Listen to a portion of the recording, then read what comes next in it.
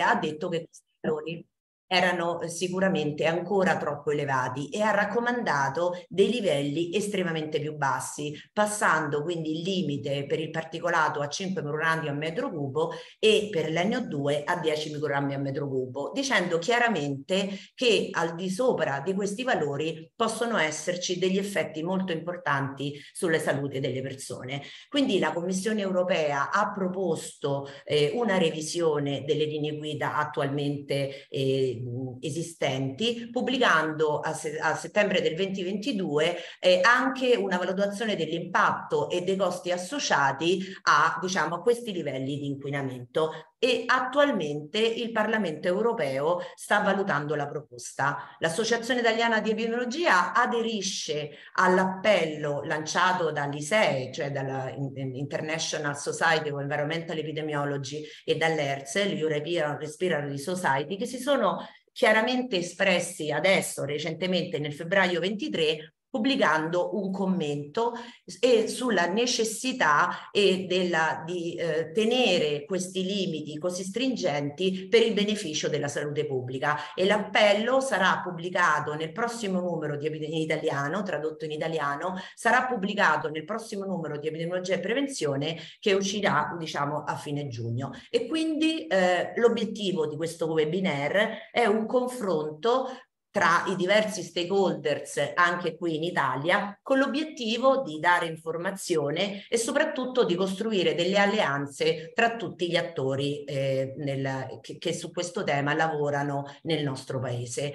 I now switch in English to start our webinar and our first speaker uh, will be Giorgio Cattani. Giorgio is the in charge uh, of the air quality monitoring uh, department at the National Institute for Environmental Protection and Research, which is ISPRA, and is going to talk us about the Italian scenario of pollution. Uh, so please, Giorgio, floor is yours.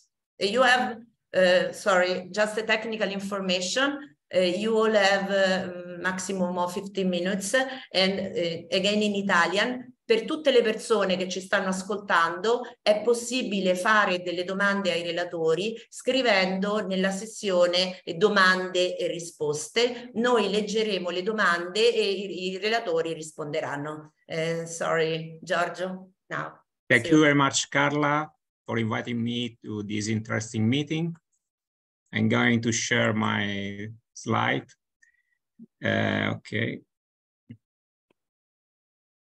As you may know, as Carla said, Italy is under the spotlight since many years about air pollution.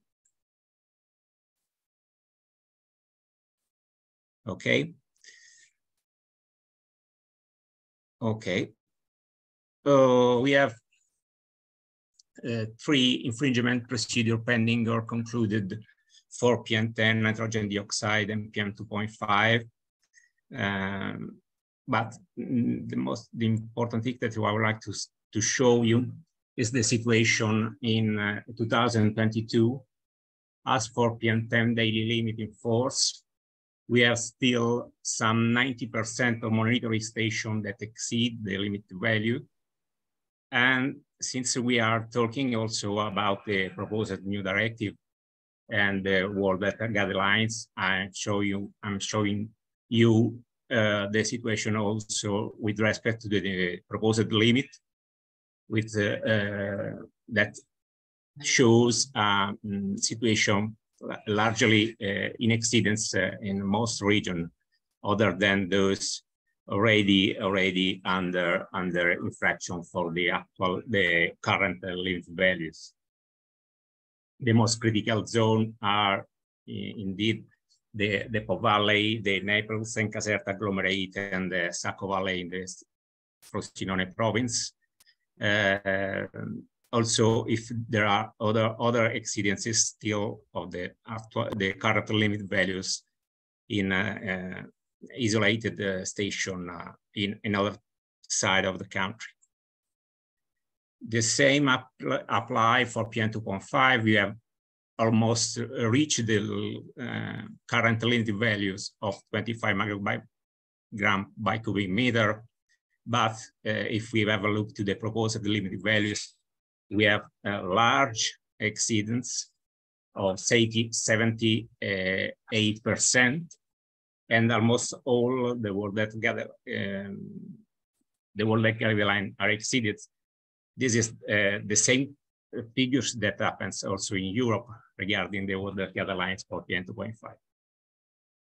And for nitrogen dioxide, we have again uh, an almost uh, reached uh, respect of the current limit value, while we have a widespread uh, exceedances of both proposed limit value and what that guideline.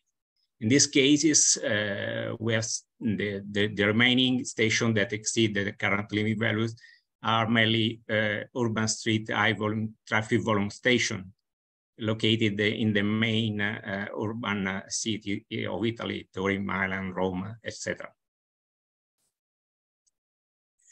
Uh, we are facing also uh, the, the problem of exceedances of ozone here and show you the figure for 2021. Also because I would like to underline that other than for health uh, issues, ozone is important for ecosystem damage.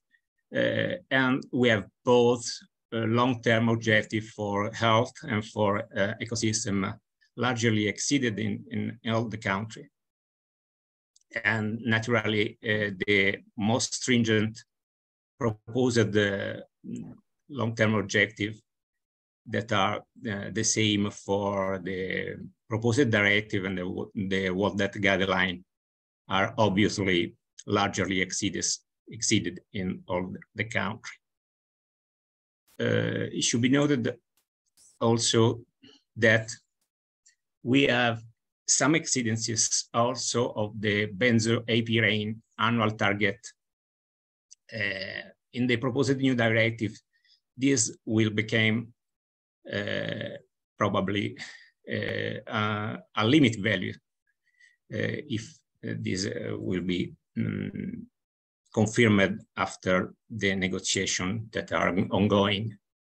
Uh, these exceedances uh, is uh, mostly related to zone where woody biomass for civil heating is, is used and together with uh, winter weather condition that favor accumulation of pollutants that typically happens in the northern side of the country, but also in some central internal side of the country.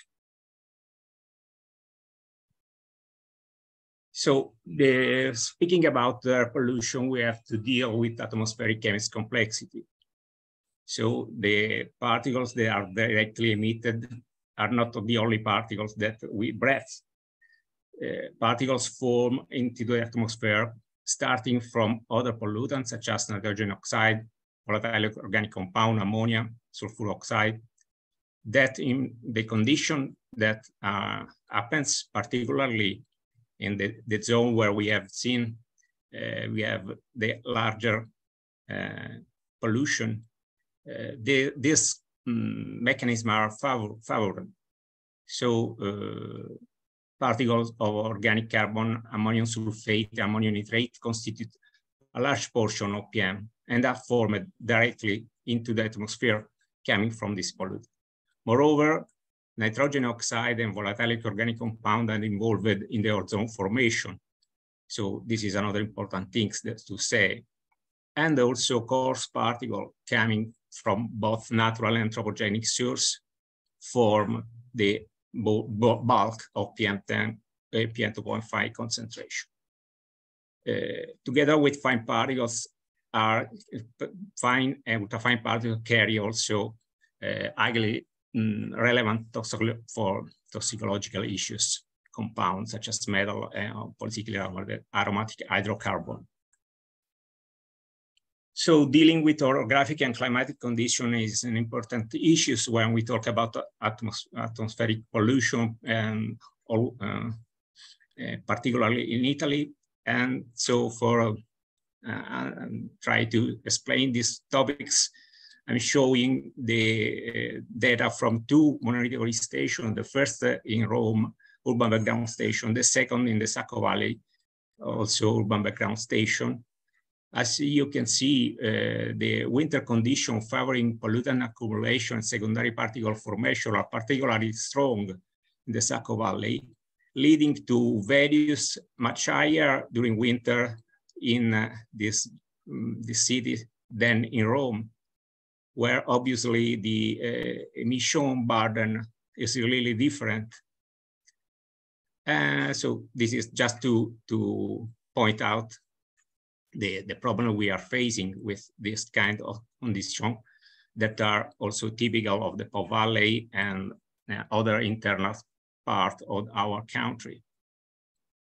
So let's talk about how did we get to this point.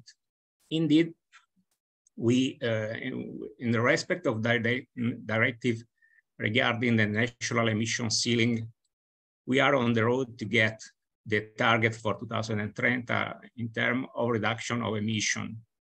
Uh, we have some delay mostly in PM2.5 directly emitted particle, uh, while for other pollutants, we are on the road and the scenarios uh, shows that probably we will get this target uh, uh, for 2030. this is confirmed where, where when we look to the uh, trend analysis, mm, this is for instance the APN 2.5 figures for the last 10 years, where we can say that we have got uh, a statistically significant decreasing trend for the most large part of monitoring station. And the happens for nitrogen dioxide, for instance. So uh, looking at what we can we should do to reduce uh, uh, air pollution, we can um, focus into the main sources of pollution, which is namely uh, road transport and nitrogen oxide emission that share some, in, in, this case, I, I show you, I'm showing you the figure from the Po Valley. We have some 62% uh, road transport emission for nitrogen oxide coming from road, from road transport and other mobile sources. And uh, within this, this portion, uh, a large portion is due to diesel vehicle fuel vehicles. But another important thing to say is that non-industrial combustion contribute largely to PM10 directly emitted particles, which is with a share of 56%, and among these 56%, some 97% came from, uh, sorry, uh, from uh, residential plant using biomass to as fuels. And the third challenge we are facing is that uh, regarding the emission of ammonia. Ammonia, as we have seen, is an important precursor of particles. And in a region as the Po Valley, uh, the emission uh, intensity in terms of density by square kilometer is particularly high um, compared with Italy, for instance, and EU, EU 28.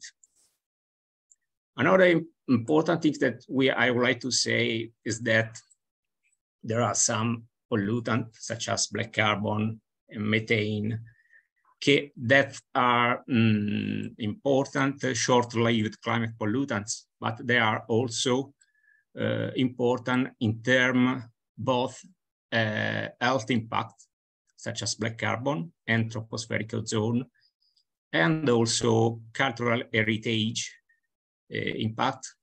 Uh, uh, we should be noted that they, are, they have a much higher warming potential than carbon dioxide. So this is our, these are important um, climate pollutant. And also that uh, black carbon contribute to melting glaciers. And when glaciers melting are melting, uh, methane is emitted, so add to what is emitted from uh, agriculture. And this lead to the formation again of tropospheric ozone. that, uh, as we have seen, uh, goes to damage health, but also ecosystem and crops productivities. So as to conclude, oh, sorry. okay.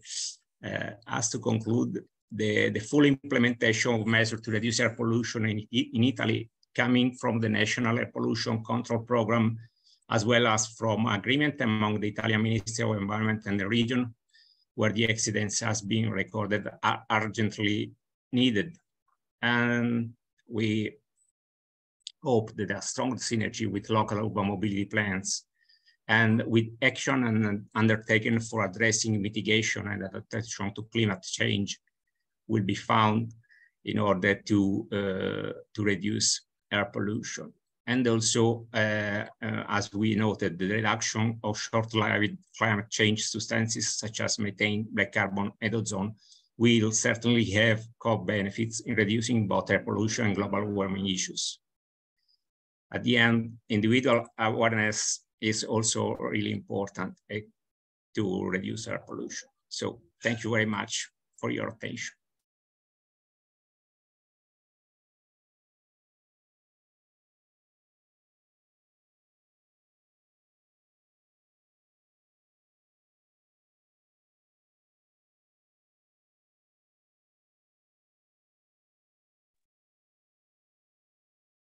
Thank, Thank you, Giorgio. Thank you very much for your very interesting talk, especially for the for pointing out so well all the sources of the various pollutants. It was very, very also didactic in a certain way, very useful, I think, for all of us. And it's now a pleasure for me to give the floor to Massimo Stafoggia, who is a senior statistician at, at the Department of Epidemiology of the Lazio Regional uh, Health Service. So Massimo, the floor is yours. Good morning, everyone, and thank you for, for the invitation. I will now share the screen. Okay, I hope you can see it well. It should be coming. Yes. Okay, so good morning. In this talk, I will uh, start from the from the scenario, from the framework that uh, Giorgio just presented on the environmental situation, and, and I will move into the health topic, which is the central for today's uh, uh, seminar. And I will speak about the impact on health from PM2.5 and NO2 in Italy with some focus on the Po region and in the major cities of, of, of the country. I will briefly touch upon the following points, air pollution and health, a very, very brief introduction uh, following what Carla was introducing a few minutes ago. I will then present some of the latest evidence in terms of the health effects from long-term exposures to, to air pollution. I will uh, briefly present some of the methods which are implied when we investigate the health impact of air pollution. And finally, I will go into some of the results of the health impact of air pollution in our country. And I will conclude with some uh, summary points. So I will be quite uh, uh, fast in this first part because I think we all of us are pretty well aware of how much relevant is the topic of air pollution uh, compared with many other uh, risk factors. In, in, uh, in, a recent publication uh, from the Global Burden of Disease in the Lancet, the investigators compared 87 risk factors for, for human health, and air pollution turned out to be the fourth cause of premature mortality, causing approximately 6.7 million uh, premature deaths in 2019. And this is the same uh, picture from a different source. This is WHO, World Health Organization, which basically distinguished between uh, outdoor uh, air pollution and uh, household exposures. And also they basically uh, estimated approximately 8 million deaths per year uh, due to exceedances of air pollution. Um, and also they pointed out that more than 90% of the world's population lives in places where air quality exceeds the WHO guideline limits. And when we come to Europe, this is the latest uh, uh, web report from the environmental, uh, the European Environmental Agency, where again we can see that in 2020 in the European Union, 96% of the population, of the urban population was exposed to levels of PM2.5 above the guideline limits from the World Health Organization, and which amounted to approximately 238 premature deaths in the EU27. So when we speak about health effects from long-term exposures, I will briefly here summarize some of the latest evidence. And in particular, I would like to, uh, to present here a, very brief summary of the ELAPSE study. The ELAPSE study has been extremely useful because uh, it was a study, uh, ELAPSE stands for European uh, uh, health effects from long-term exposure uh, in cohorts in Europe. And basically, the idea of this study, which was funded by the Health Effect Institute in the US, was to investigate the shape of the exposure response function between uh, chronic exposure to air pollution and cause-specific mortality with a focus on the uh, low levels of air pollution. And that was exactly meant to provide new evidence in order to inform the new, the new uh, uh air quality guidelines. In the in the study uh, where there was a pooling of many different cohorts. So there were eight cohorts let's call it traditional cohorts. So with an extensive amount of information on the individual level uh, uh, uh covariates, which allowed quite a, a, careful and a strict control for potential confounding. That amounted for almost 325,000 individuals which were followed up. And the, basically the study reported quite strong relationships between long-term exposure to PM2.5 and natural cause mortality, cardiovascular mortality, respiratory mortality. And this is in the yellow line.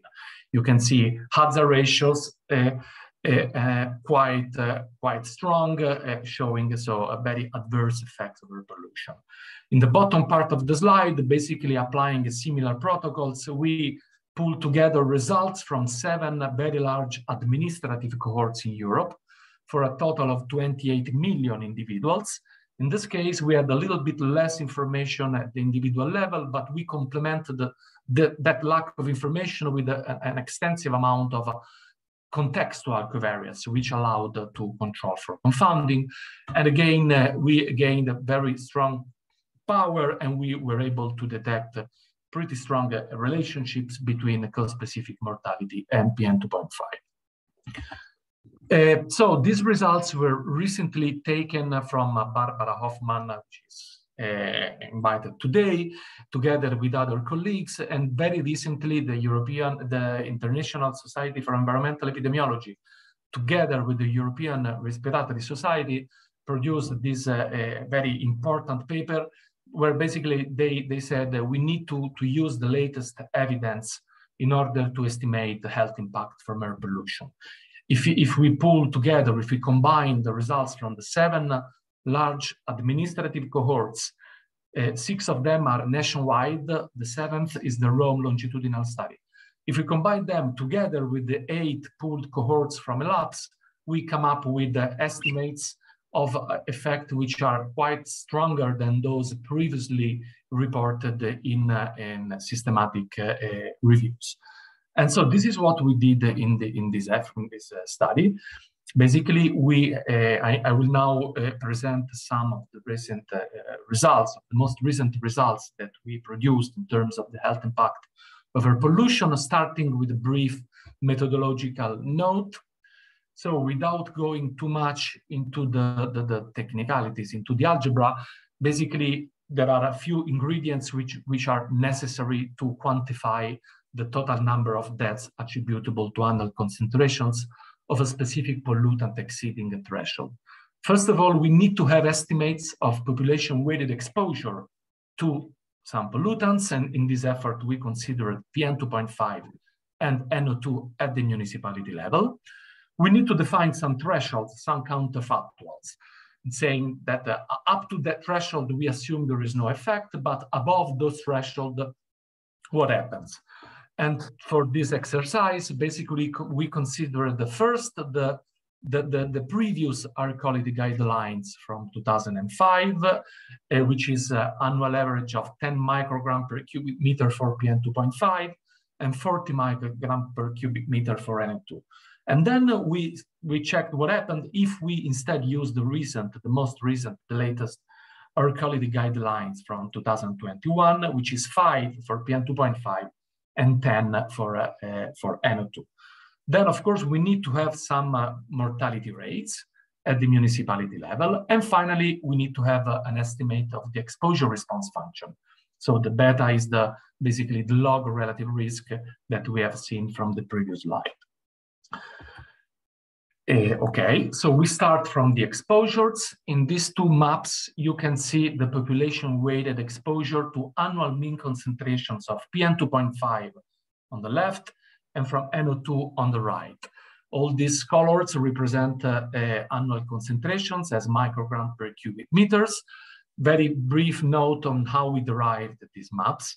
Basically, we developed uh, uh together with the ISPRA we developed a spatiotemporal model using uh, data from the monitoring stations and uh, uh, data from satellite retrievals, from atmospheric chemistry models, from land use parameters, from road, net, road network, population density, and so on and so forth. We built a, a, a, random forest model, so a machine learning model, and for each square kilometer of Italy, we estimated daily concentrations of the two pollutants, and then we quantified the annual averages. But in addition to that, since we are speaking about population weighted exposure, since for each grid cell, for each one kilometer cell, we also have an estimate of the resident population, when we went uh, to average these concentrations at the, at the municipality level, basically we applied a weighting factor. We weighted uh, the cell more if there was more population inside. So for example, if, you are, if we are in a municipality with a, a lot of people living in the center and large suburban or rural areas, we weight the inner cells much more than we weight the outer cells. In this way, we account much better for the where the population actually resides. In terms of the exposure response functions, I mentioned uh, for natural cause mortality that we have used the estimates from the recent paper from Barbara and colleagues. Instead, uh, for a, a cause-specific mortality, we relied on the uh, on uh, two uh, uh, systematic reviews which were commissioned by the WHO in 2020 exactly to inform the incoming air quality guidelines. One was for PM2.5, Chen and Hoek 2020, which investigated both cardiovascular and respiratory mortality. And the other one was for NO2, uh, uh, realized by uh, Huangfu and Atkinson, which only focused on respiratory mortality. And so we finally come to the results. We start with PM2.5. This is quite a dense slide, so I will guide you through, through this, we present here the annual deaths and fraction, so the percentage, attributable to long-term exposure to PM2.5 exceeding the WHO quality guidelines, which is the threshold 10 microgram in the middle uh, from 2005 and the threshold 5 microgram uh, on the right side for the threshold 2000 uh, for the guideline 2021. We did that for the natural cause mortality on top, cardiovascular mortality in the middle, respiratory mortality in the bottom. And we did that for Italy and then for the macro regions. And then in the next slide, we will see what happens in the Po Valley and in the major uh, urban uh, uh, uh, metropolitan areas of the country. So first of all, we see that the population weighted exposure is pretty high. So if you think about 10 or 5, you can see that on average, we have 16 in Italy, which becomes 20 in the north, 14 in the center, and 12 in the south. So most of the Italian population is exposed to levels beyond uh, what is said from WHO being uh, no risk limits of five, but even beyond 10. And when we move to the estimates of uh, uh attributable fractions, we can see that on average, we estimate more or less 6.7% of total deaths attributable to exceedances of 10 microgram per cubic meter, PM2.5, which correspond to 6.7%, 41,000 uh, deaths, which becomes 72,000 and 11.7% if we use the five microgram per cubic meter. And you also see there is quite a strong heterogeneity geographically with much higher percentages in the north and the lower in the central and southern Italy. Uh, and of course, the similar picture for cause-specific mortality. In this case, the attributive fractions are, uh, are compared, are uh, uh, calculated using the total mortality as a, as a denominator, so to, to be compared with what happens with natural cause uh, mortality. But still, we can see pretty large numbers of uh, attributable cases, both for cardiovascular and for respiratory mortality. If we focus on specific areas of the countries, this is only for natural cause mortality. Again, we can see that in the Po Valley, 11.5% of all deaths were attributable to exceedances of 10, and 16% were uh, uh, attributable to exceedances of 5. And uh, that is also, it is also interesting to see what happens uh, in the major metropolitan areas. Basically, we see that especially in the big cities from the north, we have attributable fractions which are extremely high, 20% of, of all deaths or 26, uh, 27 uh, if we consider the more stringent uh, threshold. I will briefly present the results for NO2. So same results. In this case, we don't have cardiovascular mortality because we have used the, the, the exposure response functions only for natural cause and respiratory mortality.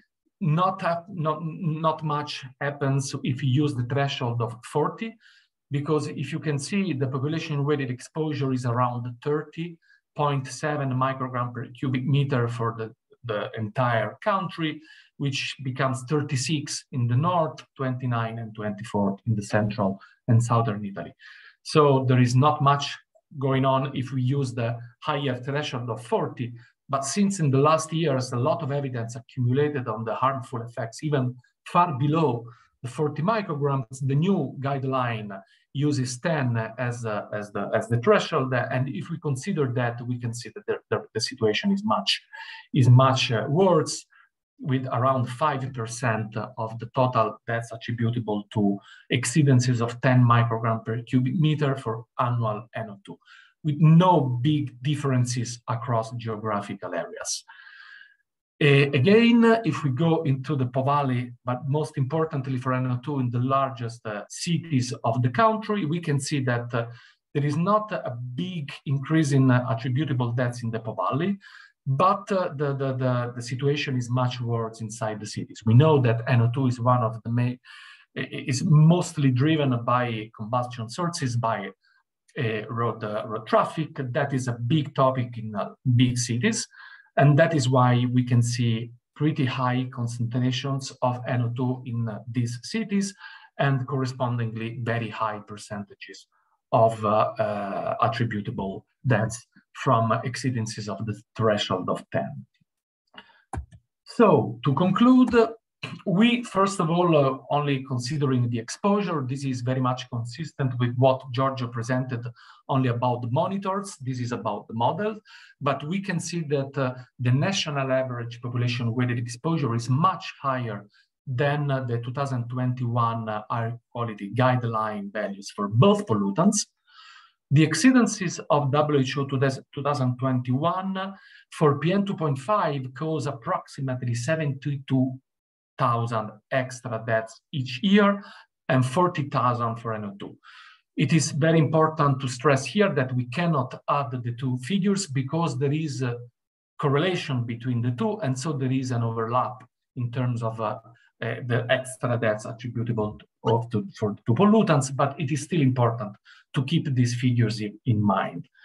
Most of the impact is found in northern Italy for PM2.5, in the Po Valley region, again, for PM2.5 and in the largest cities, especially for, for NO2. And so I would say that to conclude, uh, and so to give the possibility also to Barbara to move on from here, the new air quality directive, uh, which is under uh, scrutiny and under discussion now, the European Parliament really should align as much as possible to the WHO 2021 air quality guidelines. And I conclude with thanking all the working group. This, is, this has been a, a, a work effort which involved many institutions, most importantly, the, the Italian National Institute of, of Health, the, which provided the health data, of course. Uh, the, the ISPRA, as mentioned before, the National Network of Environmental Protection Agencies as well, uh, which provided environmental data, the Department of Epidemiology in the Lazio region, which built the, the, the spatiotemporal models, and all together, of course, we defined the methodology and we produced the, the, the estimates. So thank you very much for your attention. Thank you. Thank you so much, Massimo. Uh, I think that your data are really, we are really impressed because saying that having three times the population with the exposure for both uh, PM 2.5 and NO2 results in a really huge number of attributable deaths, preventable deaths, because saying that 72,000 deaths each year are attributable of this value of concentration of PM 2.5 and almost 30,000 attributable to NO2 is really a huge impact on health. And that's why the Italian Epidemiological Association is together with all the other scientific association in asking for a new uh, directive that can save, do something to, and I don't know, um, had give very the message that we have to do uh, everything possible to reduce the emissions and the concentration in order to save the health of citizens. So now, with my pleasure, I want to introduce you Barbara Hoffmann. Barbara is the head of the Environmental Epidemiology Department and professor of environmental epidemiology at the Heinrich Heine University in Düsseldorf, and also for the period to 2023 and 2026, Barbara is the ERS Advocacy Council Chair. So please, Barbara, uh, talk us about the critical aspects of the proposal uh, the, of the proposed EU directive and the different position of the EU countries, including Italy. Please, Barbara. Yeah, well, thank you very much, Carla. Thank you for inviting me and giving me the opportunity to talk here. And I'm starting to share my screen. Uh, let's see. Um, I hope you can see now um, my screen. Is that correct? Yes. Yes. Okay, perfect. So I cannot see you anymore now, but that's fine. Um, yeah, okay, so after Massimo just told us about these, I mean, described to us these really disturbing um, results um, and showing us how, how um, uh, devastating air pollution is acting on um, the Italian, but also, of course, on the European population. The question is, what are our politicians doing to prevent that and to um, protect us from these um, effects because we are of course all of us are um, under the influence of this um, terrible risk factor so um, carla asked me to talk about the current process of um, yeah lawmaking in the eu specifically now here for the so-called ambient air quality directive and yeah where we stand right now um, just to go back a few steps, how does air pollution regulation in Europe work? It, is, it consists of three pillars. The first part is um, reducing emissions. And we have two different sets of laws that um, aim to reduce the emissions. One is the so-called National Emission Reduction Commitments Directive that um, gives for every every sector of, um, of um, uh, economy a certain um, reduction by which, which has to be achieved um, in terms of emissions. That means the traffic sector emissions have to go down in five years by so and so many percent, and the emissions from agriculture and industry and energy production and so on. Um, so this is um, gives these um, uh, aims or that need to be achieved in terms of reduction for every sector. In addition, we have source-specific standards, and the most, um, the, the, best known one is, for example, the Euro standards for the cars uh, that uh, specifically say how much a new car is allowed to emit.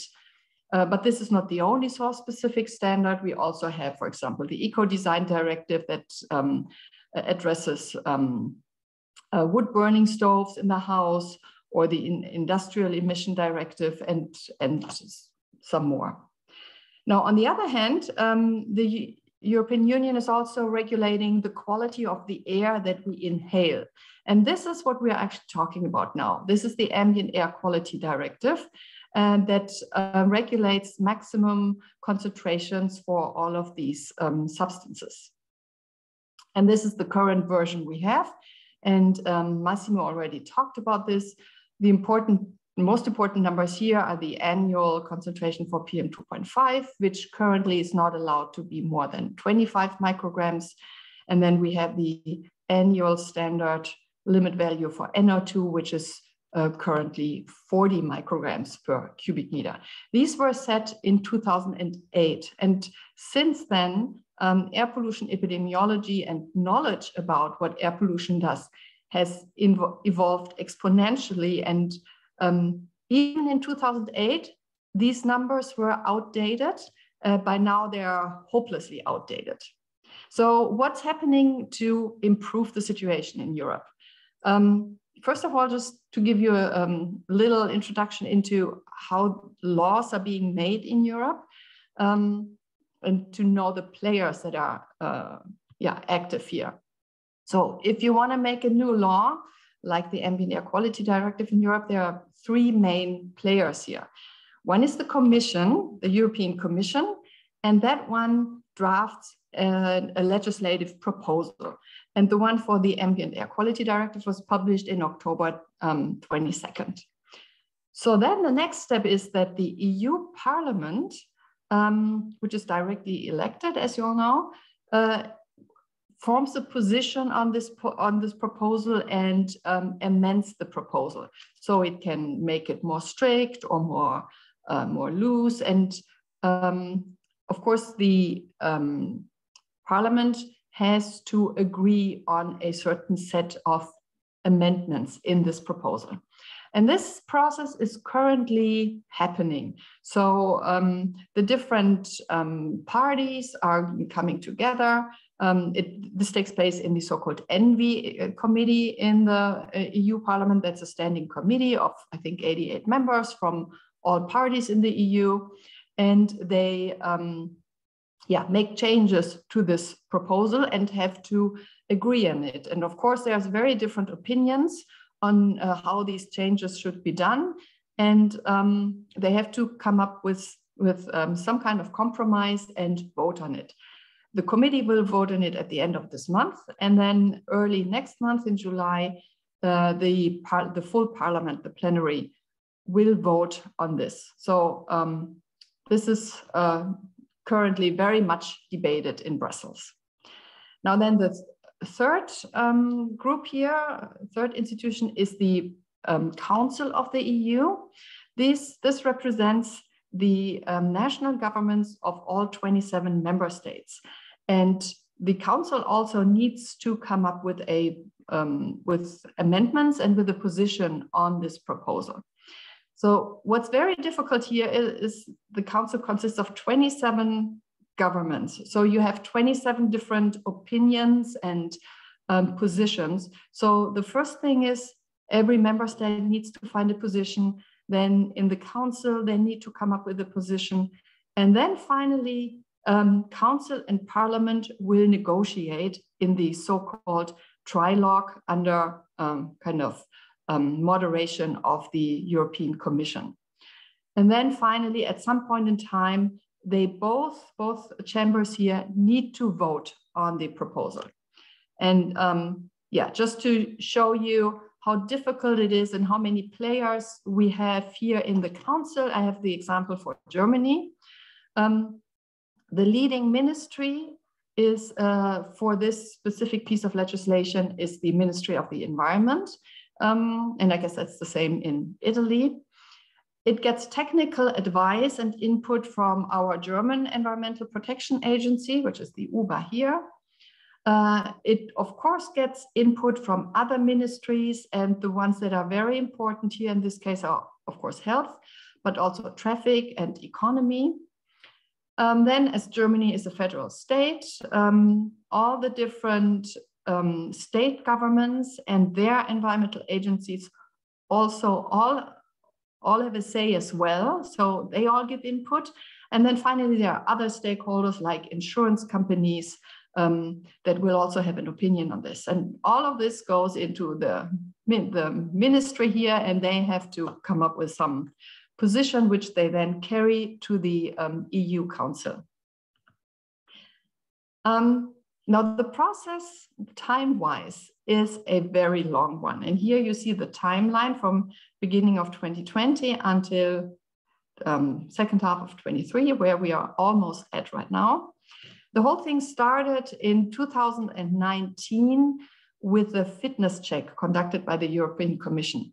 This fitness check pretty much just um, checked whether the current um, ambient air quality directive, which is the one from 2008, was uh, fulfilling its um, aims. And they came up with the conclusion, no, it only partially uh, is only partially successful um, because it, it is not able to protect the European population adequately. Therefore, the Council decided uh, in um, early 2020 that we need a new directive. Um, then in the second half of 2020, the European Environmental Agency um, uh, published one of its yearly reports, which kind of laid the groundwork for the next um, uh, for the next steps because here um, as Massimo already showed you, they always publish the number of deaths um, per year in Europe and also per every country. Um, the next step was an was an, an expert consultation where um, representatives from um, civil society, from scientific organizations, uh, from all kind of stakeholders uh, were able to say what they expect from a new ambient air quality directive. And as um, representatives of the International Society of Environmental Epidemiology and of the European Respiratory Society, um, we also gave input here in this expert consultation. Uh, a next very important step in this whole process was then the um, publication of the WHO air quality guidelines. This one was so important because both EU Parliament and European Commission had pledged before that they would uh, align the new ambient air quality directive more closely with the WHO um, air quality guidelines. Uh, so this is why they were all waiting for this publication here. Um, after this, another targeted consultation took place. So once again, the scientific societies were able to give detailed input also in terms of where uh, limit values should be um, for the development of the legislation, which was then finally um, adopted and published as the legislative proposal in the second half of um, 22 last year. And currently, as I said, uh, currently the EU Parliament is in the process of forming its position and will be is almost finished.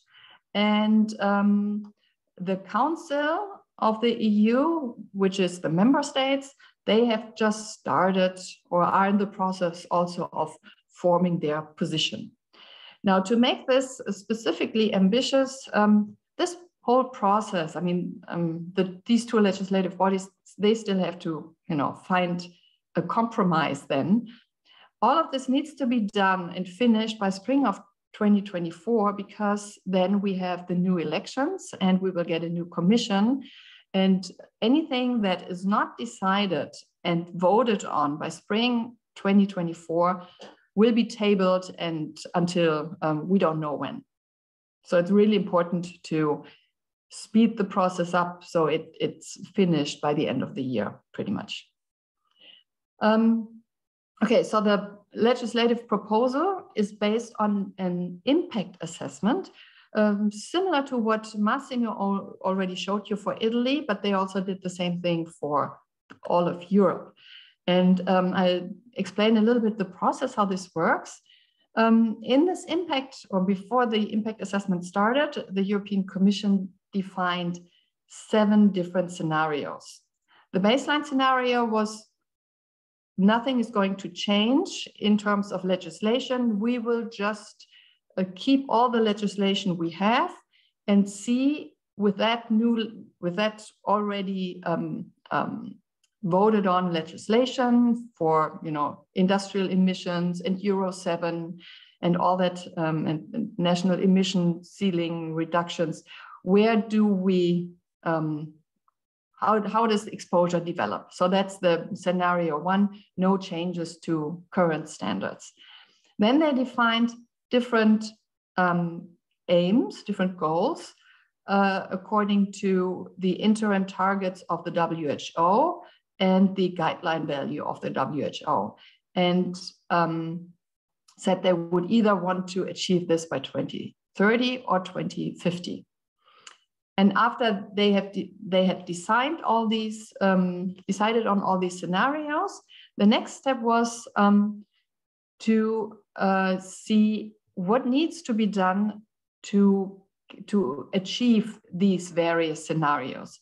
And I give you some um, information here on the three scenarios with that uh, wanted to achieve um, certain values by 2030. So we have the five microgram, which would be the WHO air quality guideline. So the most strictest scenario, then the interim target at 10 and another interim target uh, at uh, 15 micrograms per cubic meter and all of them to be achieved in 2030.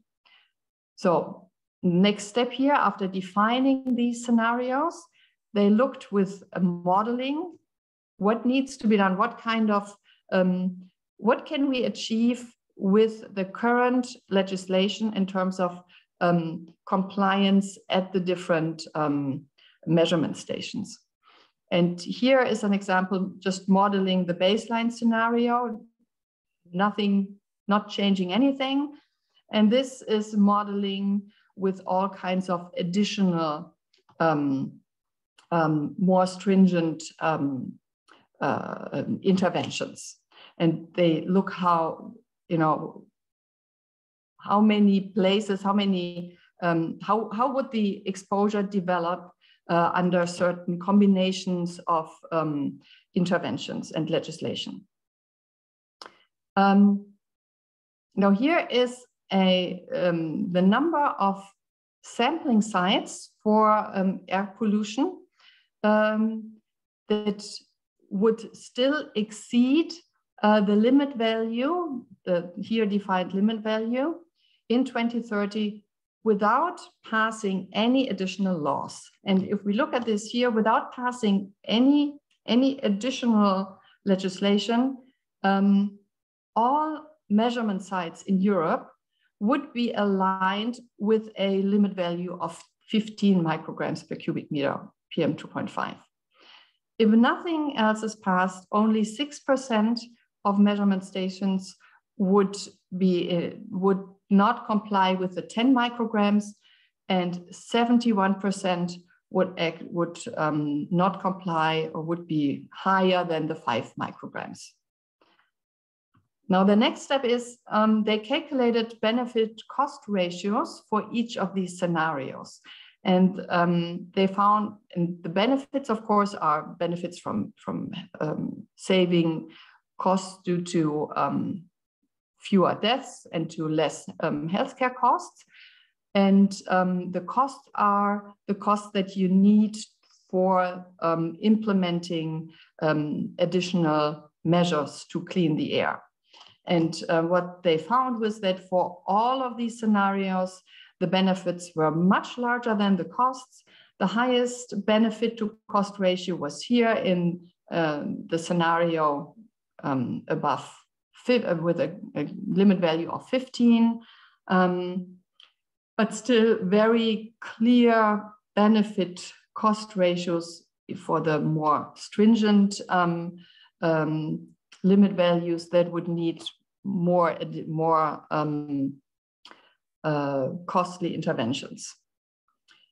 uh, they also calculated the net benefit of you know costs versus savings, and uh, you see the numbers here. These are billions of euros per year. Um, and finally, the commission decided that this would be that this was their favorite um, approach, and this is actually then the limit value they choose for their proposal. Um, and here is, in a nutshell, the, um, the most important parts of the proposal. You see here the new proposed limit values, 10 for PM2.5 and 20 for NO2, plus a long-term objective for ozone. Um, here are the old values from 2008, and you see it's, of course, much better. But then here you see the what the WHO is um, uh, recommending, and you can see that the proposed values are still twice as high as what WHO is recommending. Um, in the proposal, the, the aim currently is to achieve these limit values here by 2030. So by then, um, every uh, measurement station needs to be in, in compliance with these values. In addition to these limit values, the um, Ambient Air Quality Directive um, includes uh, a so-called average exposure reduction obligation for annual PM2.5 and NO2, which means that in this case, every 10 years, uh, the um, annual value has to decrease by 25% until the WHO air quality guidelines are achieved. Um, another aspect in the air quality directive is um, a regular review of science to make sure that um, uh, the limit values and the other standards are in line with um, scientific, the increase of scientific knowledge. Um, further elements in this new directive include that uh, there will be a, a, slight increase in monitoring. There will be some, the establishment of some super sites where ultrafine particles and black carbon and ammonia is uh, going to be um, measured. Um, for the first time, modeling will be used to um, inform the siting of um, monitoring sites so that actually the most polluted areas are being covered um, by the monitoring sites. Uh, one element that's uh, problematic is that um, particulate matter from natural sources can be deducted from the measured values um, which means, and, and these natural sources include wildfires, sand dust storms, and um, um, yeah, so the concentration from, from these sources can be deducted and won't lead to um, uh, non-compliance uh, in these measurement sites. And finally, there are some um, provisions for access to justice so that um, uh, citizens can actually sue their country for um, in case of non-compliance. Um, now the um, uh, scientific societies have formed um, some statements and, and uh, critique of the proposed AAQD uh, and the impact assessment. And our main points are that um, regarding the impact assessment, that many potential policy options and actions are missing in these scenarios that look at how much can actually be achieved in terms of reduction. Um, you know, when when um, for it looks like uh, um, it is not feasible to actually reach WHO air quality guideline values. Um, because the current uh, technical interventions that are included in the feasibility scenario, um, because the feasibility scenario is, is limited to these technical interventions, and they do not include um, other um, interventions such as low emission zones, behavioral changes in terms of um, reduced um, traffic, uh, and um, um, other behavioral changes. So this is one uh, important point of critique that the feasibility scenario does not include all possible interventions. Um, another point of critique is that the adverse health effects of air pollution are underestimated because um, they are not using the most relevant um, information on relative risks uh, that uh, Massimo just showed. They're using global estimates for health effects and not the ones that are most relevant for Europe. Um, and um, one another point of critique is that uh, the fine the the choice of the um, limit value of the scenario that was done by the um, European Commission that they did not choose the scenario with the maximal um, net benefit, but one uh, that had a uh, lower than the optimal net financial benefit. Um, Regarding the AAQD proposal, um, we believe that the proposal is not in line with the scientific evidence. It's, it's not in line with the WHO air quality guideline levels. And um, not only does it not include the air quality guideline levels um, at, for 2030, it doesn't even give a clear path towards these guideline values beyond 2030. So the only thing they give now is the um, um, limit values of 10 and 20 for PM2.5 and NO2, but they do not say where we go beyond 2030. Um, then uh, one point of critique is that uh, for ozone, uh, there's only a target value uh, foreseen and not a limit value. And the fitness check that was done in 2019 clearly stated that um, target values are not effective. Um, they don't need to be complied with, and therefore, um, most uh, countries do not really care about um, these target values. So, to really effectively regulate ozone, we need limit values. Um, then we believe that uh, we need more effort to decrease inequalities in health burdens from air pollution, which would mean that actually um, more measurements are done in um, uh, marginalized communities and in highly polluted communities. Um, that uh, we would need more, more measurement um, uh, monitoring sites there. And finally, we believe that um, the deduction of the natural source contributions oops, from um, uh, the measured uh, concentrations should at least be limited um, because of course these natural source contributions are also um, health relevant. Um, we wrote a commentary on the proposed ambient air quality directive, uh, which was uh, published here in Environmental Epidemiology. And there is an Italian uh, translation available at the end of June, which you can find here. Okay, so finally, I was asked to, um, you know, give you some hint of what the typical, what's the opposition that we get when we um, advocate for stricter air quality regulation and what the, the most important counter arguments are. And some of them come from Italy, um, specifically this one here, uh, but it's not limited to Italy. So the, the most important concern for most people is that they say it's not feasible to reach WHO air quality guideline values by 2050, let alone by 2030.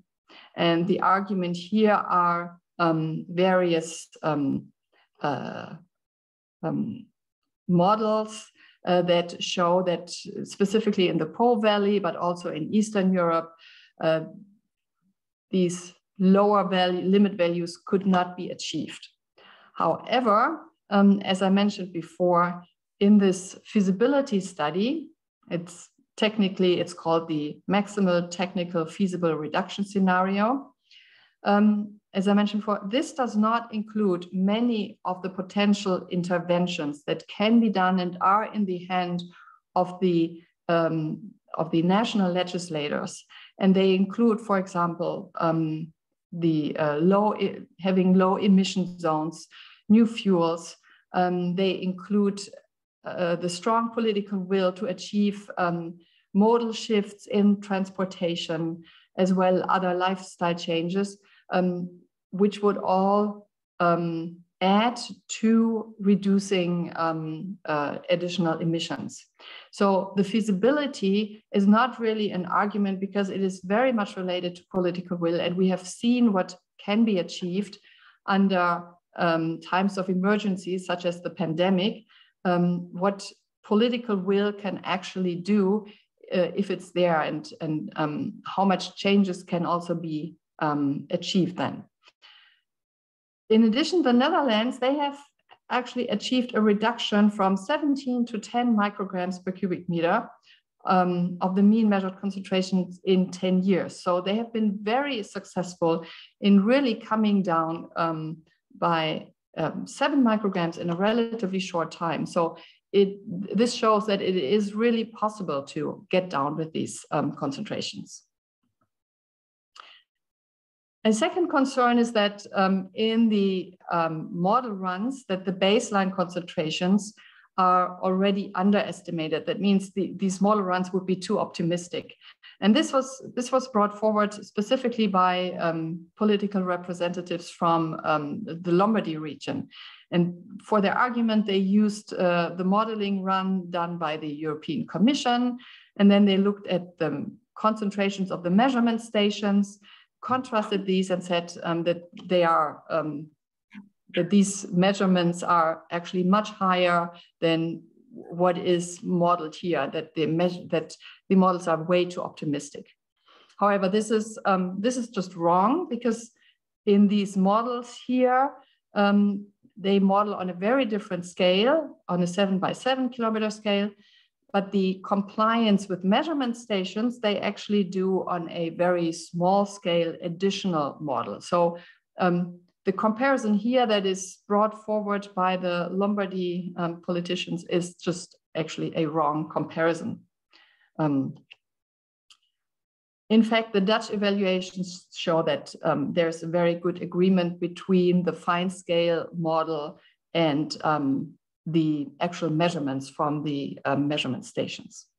Barbara, please, if you can, you know. Yeah, I'll be done in two minutes. Yep. Okay. So then another, uh, I think probably one of the largest concerns is that um, we cannot put any more burden on the economy. It's this is just too expensive to um, get the values down.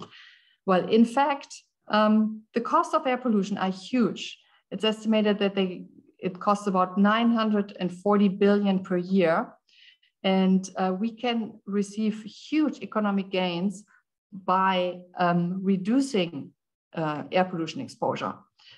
The net domestic uh, gross product gains by 2030 are expected to be about half a percent for the strictest um, um, uh, limit values. So not only does our economy is, is being hurt, but they will um, benefit from stricter regulations. The econ economic gains are mainly due to reduction of healthcare costs, and it's um, up here where you can see it's healthcare lost um, benefits from lesser uh, lost work days, from ecosystem damage, crop yield losses, forest damage. Um, so overall, there's a huge potential financial gain by reducing air pollution. And finally, um, one concern, air pollution has already improved so much. Um, other issues are more important. Uh, well, we have seen the numbers that Massimo showed. Air pollution in Europe, it's still number eight risk factor um, and uh, still has a huge burden of about 400,000 deaths every year. So this is still um, one of the major concerns we have, which needs to be addressed. Yeah, and with this, I'd like to summarize and conclude. Um, as we've seen, air pollution still causes a huge disease burden in Europe. Uh, the EC proposal is an improvement, but it does not go far enough. Most importantly, there is no clear pathway towards WHO air quality guidelines. Um, however, air pollution is so costly, and reductions are also economically beneficial and in addition, air pollution reduction comes with large co-benefits for climate, economy, and quality of life. Thank you very much. Thank you very much, Barbara, for your very interesting talk. At the very beginning, you gave us some very important insights on how the European institutions work, which is not so straightforward for, for all of us. Uh, but then you also gave us a very clear overview of the um, of the pattern of the of the new uh, EU directive and also the concerns that how how to address the concerns that the various member states are uh, mm, bringing to the EU. Uh, so I think it was a fundamental a fundamental speech to go on with our discussion, and I think it also introduces very well the next uh, speaker, who I'd like to introduce myself, who is Margherita Tolotto. Margherita He's a senior policy officer for air quality and noise at the European Environmental Bureau. And she will uh, talk to us about what is the role of NGOs and what are the main issues in Brussels. Margherita. Thank you. Thanks. Thanks a lot. I will try to be brief so we can also save some time for discussion. Happy to, to take questions later. Uh, I'm working for the European Environmental Bureau. It's a federation of environmental NGOs. I'm based in Brussels, but we represent members from 38 countries, and we have around 180 members. The work we do is to basically catalyze the expertise from national groups and um, elaborate advocacy strategies for the uh, advocacy work at uh, EU level. So we do uh, good lobby towards the institutions um, presenting and representing uh, European citizens. We obviously uh, try to do our best to use the evidence that all of you scientists are producing for allowing us to produce um, elaborate solid arguments when we contribute to decision-making processes. Um, I think a lot has already been said regarding what is the uh, scenario at EU level at the moment. I would like probably to spend some words on uh, what is specifically happening in the European Parliament. Um, the Environment Committee is going to take its position on uh, the 27th of June, voting on the set of amendments they want to uh, make to the Commission proposal on the Ambient Air Quality Directive. And we have seen that for the majority of the cases, uh, there is uh, there are quite good improvements compared to what the Commission has put forward. And at the moment, we are trying to give a last push to secure that um, the Environment Committee in the European Parliament agrees on uh, having in the directive the obligation to comply with uh, WHO um, air quality guidelines by 2030. Um, politically speaking, it's uh, a very hectic discussion. Uh, there are uh, different um, starting points depending on the country the member of the European Parliament is coming from. Uh, what has emerged clearly since uh, the proposal of the Commission uh, was published last year is that Italy is one of the biggest opponents, the biggest probably, or among the bigger opponent to already what the Commission has put forward. So for, for Italy, and when I mean, um, when I say Italy, I specifically refer to the uh, regions of the north of Italy, um, are really, really fighting hard. All their efforts are made for uh, destroying the Commission proposal, which is not uh, asking to go for WHO by 2030.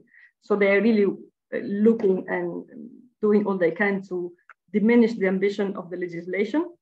And therefore, I don't think they are doing a good service to the citizens living in the uh, north of Italy regions, to be honest. I'm not sure this is a topic which is uh, very well discussed or covered by the media in Italy. It's probably something on which additional efforts are needed. Um, there is not yet uh, any official position being communicated by the central Italian government.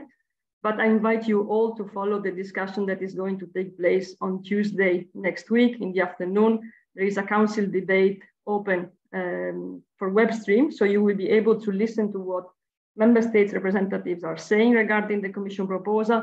Hopefully Italia, uh, Italy also speaking up, but hopefully other countries as well uh, taking the floor to say that they actually want to be more ambitious than what the commission has suggested.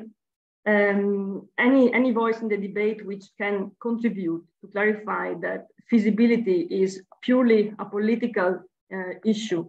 And what we are discussing here is not uh, any win at the national uh, or next European election, but is the health of uh, children, ourselves, uh, parents, etc.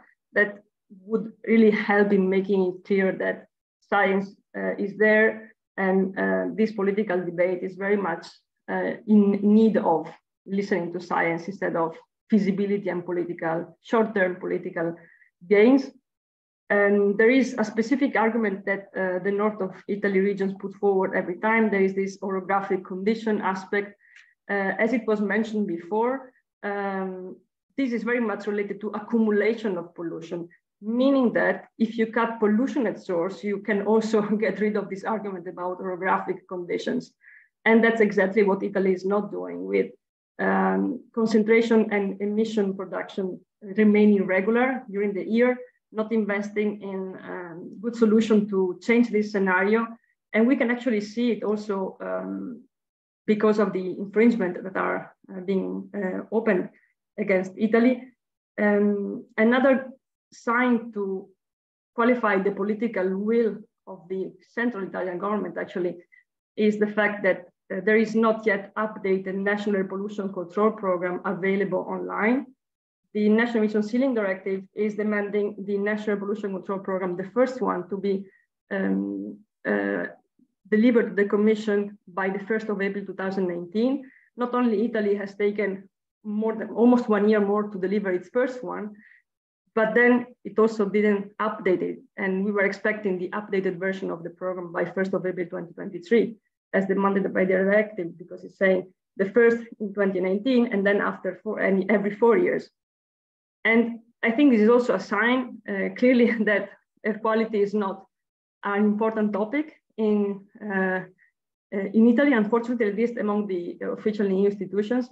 And the debate in Brussels, in European Parliament as well, is reflecting this very well, unfortunately.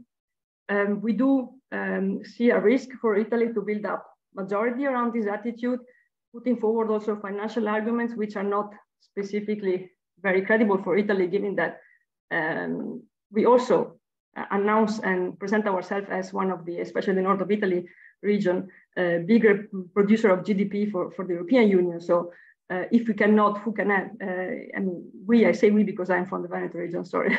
but if the north of um, Italy region cannot, who else can, can do things to reduce uh, air pollution? So uh, the debate is very hectic. Um, I was glad to hear that there was uh, a focus also on agriculture air pollution.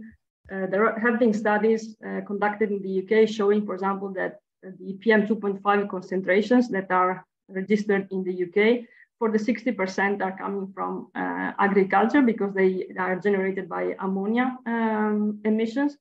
And if you consider that, for example, uh, in the Brescia province, the for every person, there are two pigs and one cow, you can clearly identify where the issue is. Intensification of agricultural practices and also uh, bad practices when uh, cultivating our fields like manure spreading instead of injection, uh, which correspond clearly to the peaks that you can uh, see in monitoring data. Uh, I mean, there are very small things that are not difficult to do, like covering storage, injection manure, and uh, with the long-term view of reducing also animal intensification, which will for sure deliver good result and will save a lot of money and will save a lot of health of all of us. And those things seems not to be uh, important for, uh, for Italy at this stage. I really warmly invite you to follow the discussion on the 20th of June. I think it will be uh, really uh, a good way to get a full immersion in the debate uh, among member states that are supposed to take their first political position on the 16th of October. So this is just the first open discuss, discussion on, on the topic. Um, I am uh, I'm happy to leave the floor to the moderator for the question and answer. Thanks. Thank you very much, Margherita, for your intervention. Uh, unfortunately, since we are running a bit late, we don't have much time for Q and A's. Also, because uh, uh, in, in, in the meantime, there was there was a lot going on in the Q and A section of the uh, of the chat. So I um, we will have we will uh, direct. I want to thank all the international speakers that uh, talked so far, and now we can move to the discussion with the Italian institutions. Everybody, obviously, who wants to stay is invited to stay, and but we will switch to Italian now. And uh, do così la parola um, ad Andrea Ranzi di ARPA Emilia Romagna, coordinatore del eh, gruppo di lavoro epidemiologia ambientale dell'Associazione Italiana di Epidemiologia. Andrea? Grazie, grazie Michele. Thank you very much to, to the first speaker in, in the, this uh, very interesting session. Ah, I switch to Italian and uh, um, apriamo, eh, siamo un po' in ritardo, quindi io non ruberò eh, assolutamente altro tempo. Apriamo a, una, a, un breve giro di tavolo per una discussione eh, con eh, i, i, tre, i, i, tre, invitati a questa, a questa piccola eh, e breve discussione. Io ehm, lascio, lascerò la parola sottolineando solo un paio di aspetti che, che ho visto un po' ehm, ripetersi nelle, nelle, nelle, presentazioni, la necessità, soprattutto fin dalla prima presentazione, che poi l'abbiamo vista in tutte le altre, di attuare eh, delle sinergie tra i vari settori per avere migliori risultati e per l'ottica dei co-benefici e quindi sia per cercare di arrivare a migliori risultati nella direzione dell'inquinamento, sia per avere migliori eh, benefici su più settori. Eh, abbiamo la questione della, di eh, integrare le, le, esperienze anche modellistiche, cercare di capire bene come eh, unire le questioni legate a eh, dati di monitoraggio ambientale, quindi limiti sulle, sui dati misurati e eh, con, il, il, concetto dell'esposizione della popolazione. Quindi questo punto di vista metodologico è un invito a noi a fare anche più sforzi nel, nel unire queste due eh, eh, realtà, queste due informazioni e dare strumenti migliori anche per legare due, questi due aspetti. E, ehm, e, poi è stato anche tangenzialmente toccato da parte dei, dei, delle, dell'environmental justice, le, le, misure che, che eh, vengono, vengono, adottate a volte sono, eh, si rischia che siano, che, che, aumentino le disuguaglianze invece di ottenere quello che vorrebbero, cioè di, di ridurre. Quindi insomma ci sono tanti temi che sono, sono aperti. Io invito eh, adesso eh, i, i, tre eh, ospiti che abbiamo in questa piccola tavola rotonda a, a dare un loro contributo di commento da, da, da, dai, vari, dai, vari, settori. Abbiamo unito la, la, parte ambientale, la parte sanitaria, quindi eh, darei la parola a, a, Pastorino Rossi, che è direttore dell'ufficio quarto del, del, Ministero della Salute, per, per un commento sulla, sulla, su quello che abbiamo sentito sulla, sulla giornata. Grazie. Eh, grazie Andrea, quindi da quello che capisco si va avanti in italiano. Allora, siamo in italiano, giusto adesso? Sì, sì, sì. La sessione. Ok, buongiorno a tutti. Beh, eh, quello che abbiamo sentito è, è assolutamente, eh, in, inglese si direbbe impressive, nel senso che abbiamo eh, dei dati sulla, eh, eh, su mortalità, ospedalizzazione da agenti atmosferici che eh, ci devono assolutamente far pensare, tanto che ci fanno pensare che a questo punto eh, la situazione relativa all'ambiente sia quasi diventata più una situazione sanitaria che, che, eh, che puramente ambientale. Il eh, Ministero della Salute ovviamente sta cercando di eh, assumersi le responsabilità che gli competono per eh, cercare di mettere in pratica, noi abbiamo visto nella presentazione di Barbara, ma anche nelle precedenti, quanto ci sia ancora da fare, quanto ci sia disallineamento anche tra quello che accade in fase di discussione sulla direttiva e quello che accade invece, quello che è già accaduto, almeno in termini di requirements, a livello di WHO. Questo ci deve far riflettere, perché poi eh, abbiamo anche visto nella prima presentazione come eh, gli, eh, gli, agenti inquinanti eh, non derivino semplicisticamente un po' come tutti ormai credono dalle classiche fonti, ma ce ne sono molte altre che eh, contribuiscono.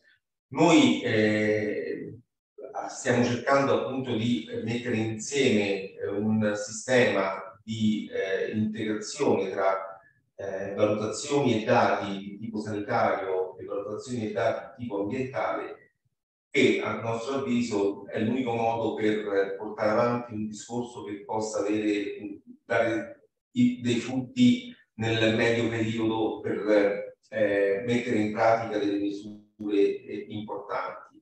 E tutto quello che è stato detto, devo dire, eh, fa parte della, delle linee di azione dei progetti che noi abbiamo finanziato a livello di PNRR barra PNC e che eh, hanno messo in moto un meccanismo importante che eh, darà i suoi frutti nel giro di qualche anno, ma che eh, dovrebbe, anzi deve assolutamente collegare eh, tutti gli attori coinvolti eh, al, al, fine di cercare di arrivare a quello che eh, OMS e direttiva, anche se in maniera un po' uniforme, ci, ci chiedono.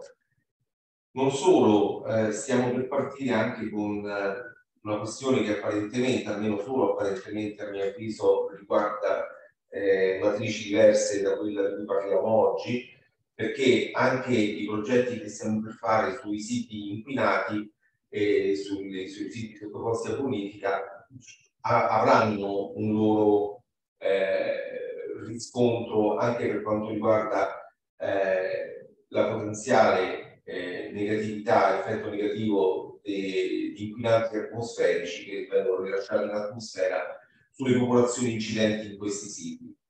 E noi sappiamo anche che eh, ci sono delle aree critiche che in Italia eh, hanno ostacolato finora eh, i miglioramenti che ci sono stati, sono in trend, sappiamo benissimo che pur essendo in trend molto spesso sono, eh, eccedono, abbiamo visto nelle presentazioni precedenti, eccedono i limiti che eh, ci verrebbero imposti dalle leggi, abbiamo una serie di procedure di infrazione a cui dobbiamo rispondere, ma noi abbiamo anche problemi che da, una, da un lato ci consentono di opporci in qualche modo al, agli inquinanti, dall'altro però ci, eh, ci riportano quasi dentro casa, questa è la nostra, un po' la nostra ografia, eh, alcune particolari condizioni meteo-climatiche per cui ieri a Milano e a Lugano dove avevo più amici c'era una splendida giornata di sole, a Roma eh, sembrava di, di essere nella foresta pluviale.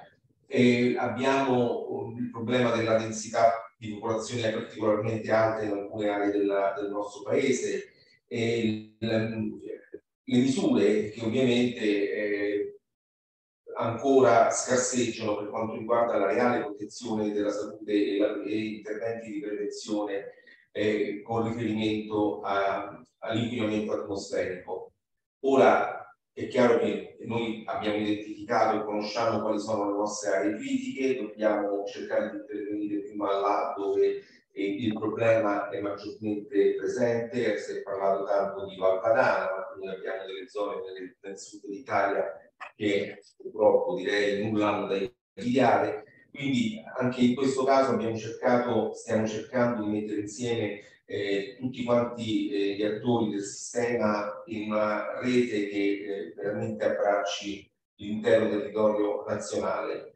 Eh, le azioni sono appena partite, ma non sono oh, nate dal nulla, nascono da una serie di progetti che noi abbiamo già sviluppato in passato, che ci hanno dato di là, nascono da un piano di prevenzione che finalmente vede al centro eh, la eh, prevenzione da inquinamento e da cambiamento climatico come uno dei pilastri, una delle macro aree eh, prioritarie. Abbiamo tutta una serie di interventi che stiamo mettendo in campo, che non, non, non, lo dico tanto per dire non sono un politico, sono un tecnico, stiamo veramente cercando di mettere insieme eh, un'infrastruttura a, rete che ancora non esisteva e che ha bisogno di essere di arrivare a un punto per darci i risultati che speriamo e in tal modo speriamo di poterci eh, confrontare in maniera più idonea nel prossimo futuro con le problematiche relative al particolato e alla, eh, all'ozono e a tutti gli inquinanti atmosferici. Io intanto mi fermo e poi così anche gli altri possono intervenire, non so se poi sarà necessario uh, concludere. Grazie Andrea. Grazie a Terino. Eh, do la parola a, a Marco Martuzzi, direttore del Dipartimento Ambiente e Salute dell'Istituto Superiore di Sanità. Grazie Marco per il tuo intervento. Eh, sì, no, grazie a te Andrea, grazie agli organizzatori di questa um, eh, molto utile giornata. Eh, è stato utile appunto raccogliere tutte le informazioni disponibili sia sulla scienza sia sul corso del, della decisione. Eh, è molto tardi, il tempo è poco, cercherò di fare due o tre punti mirati. Cominciando appunto dalla, dalla parte diciamo di, di eh, scientifica, di produzione di, di evidenza e abbiamo visto i grandi passi avanti di, eh, de, degli ultimi lavori e ho apprezzato eh, veramente tanto gli interventi sia di, di, di Giorgio eh, che di Massimo.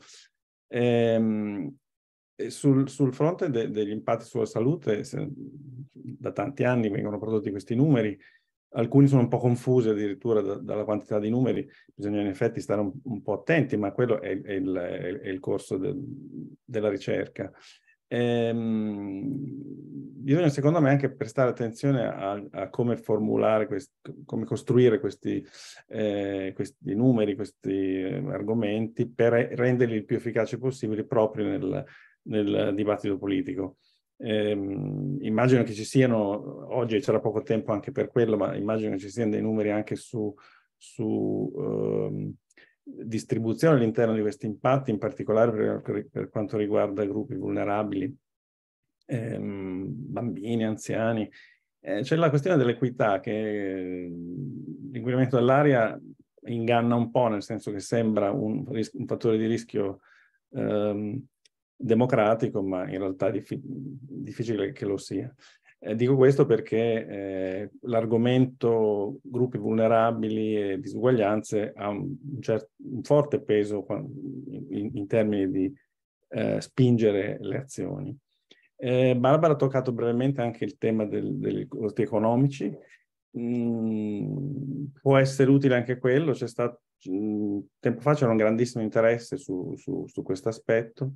Eh, potrebbe essere utile anche, come dire, corredare a livello nazionale eh, questi, eh, questi numeri con considerazioni economiche, eh, in particolare perché un, uno degli argomenti di, del contendere è appunto questo impatto, il fatto che eh, perseguire obiettivi così ambiziosi costerebbe, eh, avrebbe dei, dei risvolti negativi dal punto di vista economico-produttivo, particolarmente parlando della, della, delle regioni del nord. Eh, tutto questo appunto in un certo senso è, è quasi secondario perché adesso il, il, il vero eh, tema sul, sul più, più, acceso è quello del cosa fare. Eh, il cosa fare è cosa fare per appunto perseguire questi decidere quali obiettivi perseguire e cosa fare per perseguirli. Il, um, è vero che, lo diceva Barbara, l'esempio, il confronto è piuttosto eh, è brutto dal punto di vista, diciamo, di confronto. Barbara citava l'Olanda, no? Chi è, in, chi è, in, questo business da parecchi anni come me ricorda, ricorderete alcuni di voi, eh, 15, 10 anni fa, le mappe d'Europa c'erano sempre due macchie rosse in pianura padana e in Olanda più o meno, Paesi Bassi. Adesso effettivamente di, di, la macchia del, della pianura padana persiste eh, e in Olanda meno. Quindi, come dire, effettivamente l'argomento di, di, fattibilità eh, va, esplorato, va esplorato meglio. Eh, ora, il cosa fare?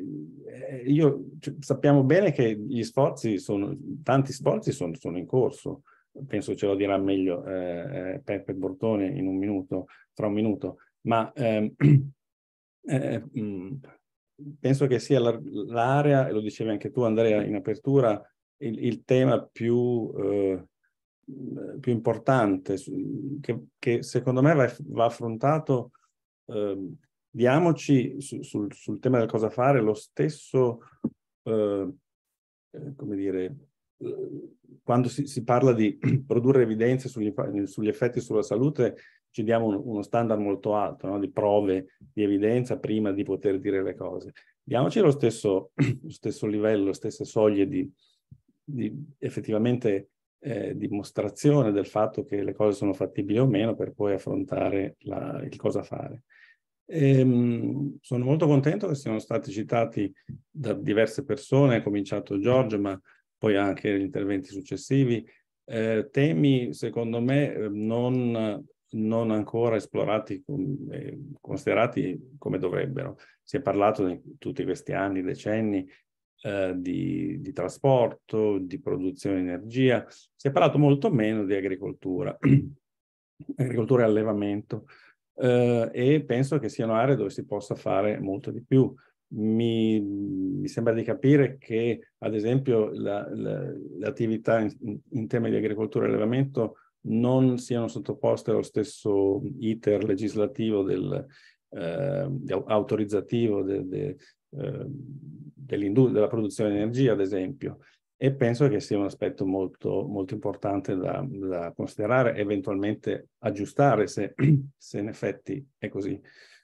Um, e quindi eh, appunto è sul, è sul, tema di eh, integrazione e considerazione di tutti i settori eh, rilevanti, eh, una, una seria evidence-based eh, eh, discussione sulla evidence anche da, dalla parte del, del, del, degli interventi che secondo me può, può, migliorare la, il, il, dialogo e l'identificazione di, di eh, attività, di, di, scelte più ehm, che siano migliori per la salute, che in effetti questi impatti eh, sanitari, questi numeri eh, sono davvero ehm, eh, giganteschi, siamo un po' assuefatti ma, eh, a, a, questi numeri, ma eh, eh, sono, sono, reali. A questo punto l'evidenza scientifica è solidissima, ormai l'inquinamento dell'aria è, un, è, il più classico dei temi ambientali dove, dove sappiamo quantificare bene gli impatti, eh, in, in, molti, dare un dettaglio eh, che non, nessun altro, nessun'altra eh, inquinante possiamo, possiamo fare, pensare agli agenti chimici, siamo ben lontani da questo, da questo livello di, di conoscenze e di affidabilità dei, dei, dei modelli e delle stime. Quindi ehm, direi che eh, Ehm, diceva giustamente Lino Rossi del, dello sforzo in corso su molti progetti ai quali anche noi partecipiamo attivamente e in particolare eh, penso che questo eh, nuova tornata cui lui, a cui lui faceva riferimento sui, diciamo, sui siti inquinati eh, sia promettente, I siti inquinati nel senso diciamo, moderno, tra virgolette, eh, in cui uno, un ricercatore eh, e un decisore considerino il, il, il, um, il contesto esteso, no? non solo l'emissione di qualche agente inquinante, ma anche eh, il quadro dove si opera, in particolare il quadro di cambiamenti climatici che eh, va, eh, va, tenuto ovviamente in, in prima fila. Eh, voglio concludere sottolineando eh, eh, una parola già detta più volte, ma forse mai abbastanza, la questione dei co-benefici, eh, parlando di eh, interventi in diversi settori, eh, il, um, esplicitare, identificare, esplicitare i, i co-benefici è un, un, argomento molto forte, molto importante. Di nuovo parlando di agricoltura, eh, le emissioni della produzione di, di, carne, ad esempio, sono molto elevati e ridurre il consumo di carne ha anche con benefici in termini di nutrizione eh, che sono quantificabili in, in uh, numeri molto importanti. Lo stesso vale ad esempio per la, uh, il trasporto uh, urbano, in questo caso ridurre le emissioni per forza produce guadagni in termini di, di attività fisica o rumore o, o, o incidenti stradali. Quindi eh, l'argomento dei co-benefici che eh, non è nuovo, ma non è secondo me abbastanza utilizzato, eh, merita un, un ulteriore diciamo, investimento di ricerca e discussione. E con questo mi fermo ringraziandovi di nuovo. Grazie Marco, eh, sì, ci hai dato molti spunti, ci sono una, un, uno che ho che ho colto, che, che, è anche molto attuale rispetto a quello che diceva anche eh, Lino prima, la, la, modalità anche di, di, uscita di questi numeri, di questa quantità di, di, di elaborazioni che vengono fatte sarà, sarà, anche utile un ragionamento anche alla luce dei, dei nuovi progetti PNC che si stanno, eh, che, stanno, che hanno cominciato le loro attività e che hanno nella parte di, di comunicazione, forma di anche cosa, una, una rilevanza molto, molto importante che andrà concertata per evitare di eh, creare de, de, delle situazioni in cui chi non è bene dentro questi numeri e ne capisce anche le differenze potrebbe leggere come meno attendibili delle, delle, delle, dei messaggi quantitativamente differenti. Quindi questo è sicuramente un aspetto molto importante. Eh, lascio la parola adesso a, al mio direttore, Giuseppe Bortone, direttore generale di ARPAE, eh, referente ambiente e salute per il sistema nazionale di protezione ambientale e presidente di Asso ARPA. Eh, ti lascio la parola a te. Sì, grazie, grazie a Aie per, per l'invito. Eh, le suggestioni e gli spunti sono tanti, per cui adesso è difficile sintetizzare la voglia di, di mettere dei punti e delle eh, visioni del settore ambientale tanto. Spero di essere brillante per la sintesi. Allora vado per parole chiave. E nel settore, la parte ambientale, il sistema eh, nazionale di protezione ambientale, le agenzie regionali eh, ambientali in particolare, eh, sposano integralmente la linea nell'esigenza di una riduzione importante dei livelli emissivi per il miglioramento della qualità dell'aria. E in questo sostanzialmente, senza entrare nelle sfumature dei limiti previsti dalla direttiva, però indubbiamente facciamo salva tutti quanti noi la, la finalità di quella direttiva che va in, in quella direzione. Quindi sicuramente il pieno appoggio alla, alla nuova direttiva e tutta la disponibilità che vengano accelerate le procedure per l'effettiva adozione e approvazione.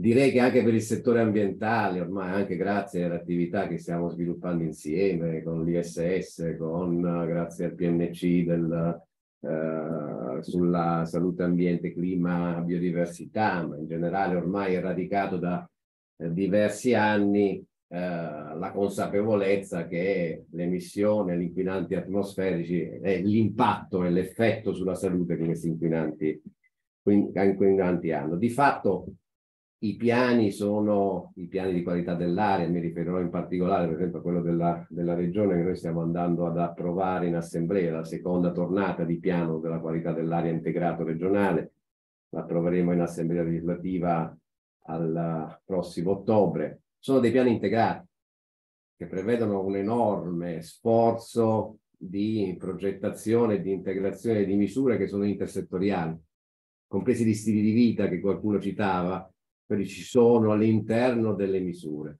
Entrano in un sistema di, di, valutazione, di efficacia e di integrazione degli effetti dei, dei diversi, dei diversi settori e vanno a valutare quali sono gli effetti in relazione agli obiettivi che sostanzialmente si può ricondurre alla riduzione massima della popolazione esposta a concentrazioni, concentrazioni di rischio, uh, di rischio uh, sanitario. E, ehm, questa nuova generazione di piani ha anche una valutazione del costo economico in termini comunicativi e di efficacia di azione, secondo me dobbiamo fare anche un salto paradigmatico, dobbiamo incominciare a comunicare qual è il beneficio, ne parlava prima Marco, e quindi ad esempio nel piano regionale noi parliamo di quanti mesi si allunga l'aspettativa di vita a realizzazione di quel corpo di misure integrate che devono raggiungere determinati obiettivi così come è entrato nel gergo della politica dell'assemblea regionale i, la, i costi sanitari risparmiati in termini di efficacia sulla, e di riduzione di effetti sulla salute, quindi minori risorse necessarie al piano della prevenzione sanitaria. E, e su questo noi abbiamo le previsioni, ragioniamo in termini di previsioni di, di, di riduzione di popolazione esposta. Ci sono le valutazioni, ve le richiamo in termini di efficacia di questi scenari di intervento per ciascun singolo inquinante. Allora, il piano, per esempio, per quello che riguarda l'Emilia Romagna, prevede al 2030 un abbattimento di PM2,5 in termini percentuali rispetto al 2017 del 46%, applicando quelle che sono le attuali tecnologie, gli attuali indirizzi, le attuali strategie di livello comunitario. Quello che è lo scenario, diciamo, lo chiamiamo CLE, quello di riferimento, applicando il portafoglio di misure, di norme, di limiti che sono attualmente disponibili a livello di Commissione europea. Per raggiungere gli obiettivi prefissati c'è bisogno di introdurre ulteriori misure e queste vanno a carico dei territori. Questi sono anche, possono essere letti come elementi di diseguaglianza, nel senso che per il PM2.5 da 46 che ci garantisce l'attuale assetto delle norme, dobbiamo arrivare al 61%, quindi un 15% in più che è chiesto ai territori come intervento specifico per vista la realtà territoriale. Per zona zona siamo al 55% con lo scenario di riferimento a attendere con le norme, 59% qui c'è un piccolo incremento da garantire attraverso le misure locali. Ci attendiamo anche degli effetti importanti a seguito poi dell'altro percorso, che è quello della decarbonizzazione e delle fonti di energia rinnovabili. Qui prevediamo che ci sarà un grande cambiamento verso la produzione elettrica da fonte rinnovabile, quindi questo dovrebbe abbassare il livello delle, delle combustioni e quindi degli NOx. Un grandissimo sforzo locale, e qua vengo all'esigenza che la Commissione europea, l'Europa si dia anche all'interno di questo percorso sto facendo, non solo degli obiettivi di limiti più stringenti, ma anche delle, delle indicazioni eque per tutti i settori perché tutti i settori si prendano in carico questo obiettivo di riduzione delle emissioni. E vengo all'esempio dell'ammoniaca. Con l'attuale assetto delle norme europee il piano riesce a garantire un 8% di riduzione, avete parlato benissimo, i dati ci sono di quanto è importante l'ammoniaca in termini di produzione di particolato secondario. Bene, se vogliamo raggiungere quei famosi obiettivi del piano per ridurre la popolazione esposta, abbiamo bisogno di un 43% da parte del, del, del, degli interventi e delle misure locali. Allora ecco, in questo noi chiediamo che ci sia insieme a questo condiviso sforzo di revisione della direttiva auspicabilmente adeguata ai limiti della, de, definiti dall'OMS, però ci deve essere, perché è una, una, è una questione di equità, di equità, poi andiamo ai livelli della, della concorrenza dei territori europei, dove credo che oltretutto il richiamo delle condizioni orografiche e meteorologiche non è un alibi italiano e ormai ci sono dei dati assolutamente robusti che lo dimostrano. Sono prodotti dei dati in cui a parità di emissioni non è detto che se si riduce il carico emissivo le concentrazioni siano ridotte equamente in tutte le situazioni meteoclimatiche. Questo non è vero di dimostrato dai dati. Per cui una riduzione di carico emissivo in un luogo, per non far nomi, Torino, corrisponde a una concentrazione in aria che non è quella che si avrebbe in un'altra parte d'Europa, non mettiamo in concorrenza i territori, eh, eh, a, a parità di carico emissivo ridotto. Quindi questo è un altro elemento che va in qualche, in qualche, maniera, in qualche maniera valutato. Dopodiché gli altri punti che mi ero oh, appuntato sono, noi stiamo lavorando in termini di, come vi dicevo, di popolazione esposta. Se si ragiona in termini di popolazione esposta, devo dire la direttiva quadro, la direttiva nuova di modifica della, sulla qualità dell'aria lo prende in considerazione questo obiettivo di riduzione progressiva della popolazione esposta, che potrebbe essere quello magari assunto anche in termini più vincolanti, a garanzia di un percorso avviato, definendo delle percentuali, dei target anche annuali che portino alla riduzione. Le stime del piano dicono che sostanzialmente noi non riusciremo, qui c'è tutto il discorso da fare, la modellistica previsionale, quanto affidabile, quanto robusta è, ma eh, quelli sono gli strumenti, ci dicono che avremo comunque un livello di popolazione esposta probabilmente, sì, qualche punto percentuale, che si attesterà sopra quei livelli indicati da OMS o, o, o, dalla, o dalla direttiva. Allora, su questo è un tema, ripeto, non è un voler procrastinare un percorso che è indubbio, condividiamo, ha un effetto sulla salute, quindi è, però si tratta di valutare la sostenibilità eh, tecnica del percorso che si va a fare. Altro spunto che la direttiva, la proposta direttiva fa e qua siamo anche un po' autoreferenziali, un po', come dire, eh, ambiziosi. Credo che sia stato preso molto spunto dall'esperienza delle agenzie regionali, in particolare quelle del bacino padano, sulla capacità di monitorare la qualità del particolare. Questo è un altro aspetto che probabilmente a livello europeo bisogna prendere in considerazione. Allora, quelle centraline che noi chiamiamo di super sito sono state mutuate nella proposta della direttiva. Queste centraline riescono a fare la caratterizzazione del contenuto del particolare. Voi mi insegnate perché studiate gli effetti, che evidentemente un conto è l'impatto del black carbon, un conto può essere l'impatto dei sali di, di, di, di, ammonio o dei sali di, solfato.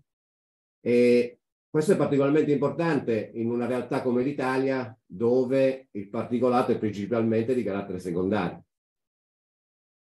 E allora forse, e questo lo dico come invito alla comunità degli epidemiologi, dobbiamo in qualche maniera integrare la nostra capacità di lettura di questi dati insieme a delle capacità di valutazione tossicologica, perché credo che possa essere una delle, delle chiavi interpretative di un fenomeno su cui, ripeto, qui non c'è, un, non c'è un'ombra di dubbio. Le regioni, le agenzie, tanto più le agenzie, sono assolutamente convinte che questo percorso vada assolutamente affrontato, però va affrontato con, eh, abbiamo parlato di science uh, based, eh, sulla base dei dati, delle evidenze e trattando anche quelle che possono essere condizioni evidentemente di, di, di disparità e di diseguaglianza rispetto agli assetti territoriali dei, dei, dei territori.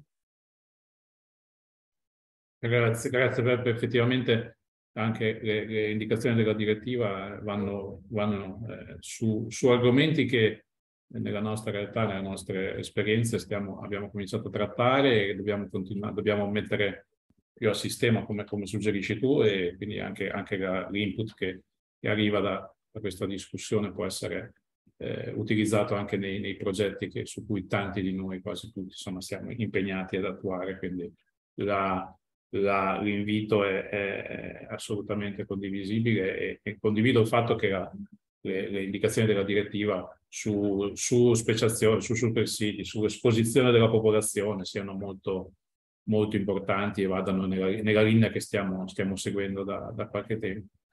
Io ringrazio i, gli intervenuti e lascio la parola a Michele, mi sembra, per le conclusioni.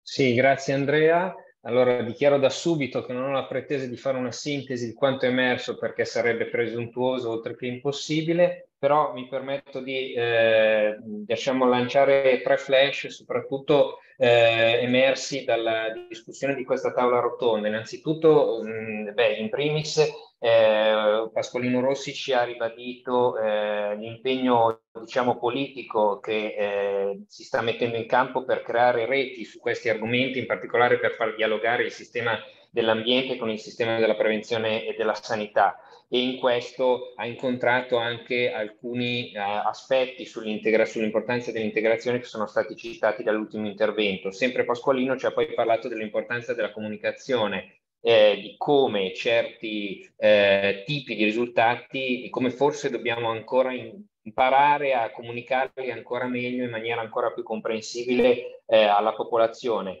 Eh, argomento che tra l'altro è, è, stato ripreso da, anche da Marco Martuzzi eh, insieme a molti altri spunti eh, eh, importantissimi, meritevoli di eh, approfondimento, anche approfondimento di studio da parte di chi come noi si occupa di diciamo, fare ricerca in questo ambito, come il tema in primis dei metodi, della vulnerabilità del, della relazione tra costi e fattibilità che ha ripreso in parte una, diciamo, un flash però interessantissimo che aveva posto Barbara Hoffman, oltre ovviamente al, al tema interessantissimo del, del link con i cambiamenti, cioè più che interessantissimo, ormai imprescindibile del link con i cambiamenti climatici e poi tutto l'aspetto dei co-benefici. Eh, da ultimo, eh, il tema delle sorgenti, che poi è stato ripreso in maniera molto importante anche da Giuseppe Bortone, eh, che ehm,